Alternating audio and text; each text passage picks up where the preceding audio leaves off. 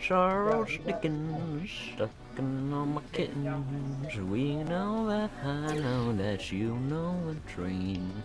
These are a few of my favorite things. When Charles Dickens sucks on my kittens, we know that What? you know. When he does what?